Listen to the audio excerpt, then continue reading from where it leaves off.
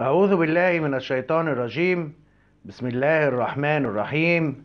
والحمد لله رب العالمين. والصلاة والسلام على أفضل المرسلين سيدنا محمد وعلى آله وصحبه وسلم أجمعين. السلام عليكم ورحمة الله تعالى وبركاته. أسعد الله منامكم. أهلا بيكم أعزائنا المشاهدين المتابعين للقناة وكمان أهلا بيكم أعزائنا المشاهدين اللي لسه بيشوفونا لأول مرة ونقول لهم شرفتوا ونورتوا القناة. إن شاء الله النهاردة مع بعض في لقائنا هنتكلم عن تفسير رؤية جديدة من الرؤى وهيكون معانا اللقاء ده تفسير رؤية آية قرآنية من القرآن الكريم وهي الآية رقم 89 من سورة الأنبياء وهي أعوذ بالله من الشيطان الرجيم. بسم الله الرحمن الرحيم. وزكريا إذ نادى ربه لا تذرني فردا وأنت خير الوارثين. صدق الله العظيم. الآية الكريمة فيها نداء إلى الله يعقبه طلب ودعاء ثم يعقبه لله ثناء.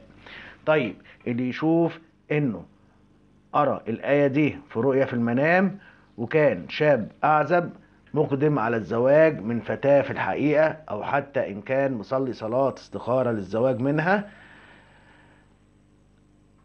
فدي دلالة إن الفتاة دي صالحة وتستحق إنها تكون زوجة ليه وإن إن إن شاء الله سبحانه وتعالى ربنا هيرزقه منها بالأولاد وكمان هيكونوا أولاد صالحين في حياتهم. والله سبحانه وتعالى أدرى وأعلم وأسعد الله دائما منامكم. وكمان رؤية الآية دي في رؤية في المنام دلالة للرائي إن تدعو الله بما تشاء فربنا سبحانه وتعالى قادر على كل شيء ولكن لما تيجي تدعي ربنا سبحانه وتعالى لازم دعائك يكون فيه خشوع وأدب واستعطاف واسترحام مع الله سبحانه وتعالى. وكمان لازم بعد الدعاء يكون فيه ثناء لله سبحانه وتعالى زي سبحان الله والحمد لله أو أنت خير الوارثين.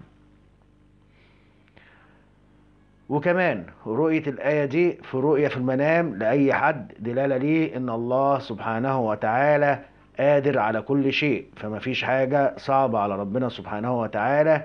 ولكن دايما لازم نكون من أهل الخير والصدقات علشان نسرع استجابة الله سبحانه وتعالى لينا. وكل ما نكون سبائين للخير كل ما يكون قبول دعائنا سريع فجزاء الإحسان بيكون إحسان. فما بالكم لما يكون الإحسان من عند الله سبحانه وتعالى؟ والله سبحانه وتعالى أدرى وأعلم وأسعد الله دائما منامكم.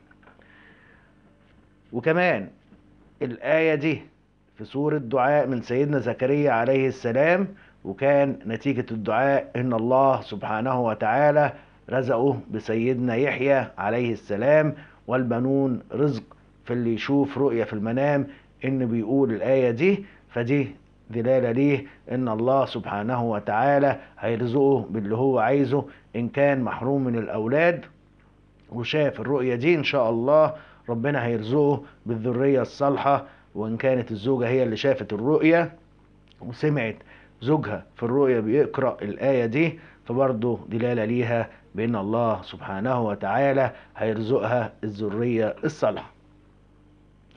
وعلى العموم رؤية الدعاء في المنام أيا كانت صيغة الدعاء فده دلالة على أن الله سبحانه وتعالى استجاب للرائي دعائه وطلباته وأمنياته اللي نفسه فيها كلها. والآية دي بصورة الدعاء اللي فيها دلالة على أن الله سبحانه وتعالى استجاب لدعاء الرائي اللي بالأخص فيه طلب رزق أيا كان نوع الرزق. والله سبحانه وتعالى أدرى وأعلم أسعد الله منامكم وأشكركم والسلام عليكم ورحمة الله تعالى وبركاته.